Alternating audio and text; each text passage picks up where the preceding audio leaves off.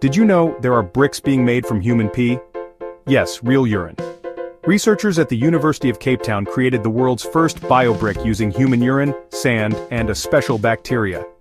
It's called microbial carbonate precipitation, a fancy way of saying the bacteria turns urea in urine into cement.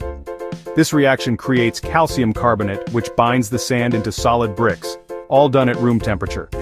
No high heat kilns, no carbon emissions, each brick takes about 25 to 30 liters of urine.